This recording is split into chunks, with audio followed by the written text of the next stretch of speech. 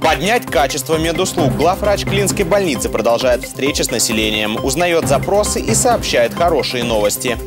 Будет построен новый современный э, фельдшерско-акушерский пункт, а, где будет работать постоянный специалист. А, Это перспектива. Каждая третья покупка через киберсеть. Что должен знать интернет-покупатель? В День защиты прав потребителя расскажет специалист Роспотребнадзора. С 1 января 2019 года все информационные агрегаторы должны разместить на своих сайтах информацию о своей государственной регистрации, названии, месте своего нахождения. Требуются технари, а вот менеджерам, бухгалтерам, экономистам отворот-поворот. Немножко отмирающая профессия уже. Получается, что развивается один компьютер, и один специалист, он обсчитывает всех, да, бухгалтер, допустим.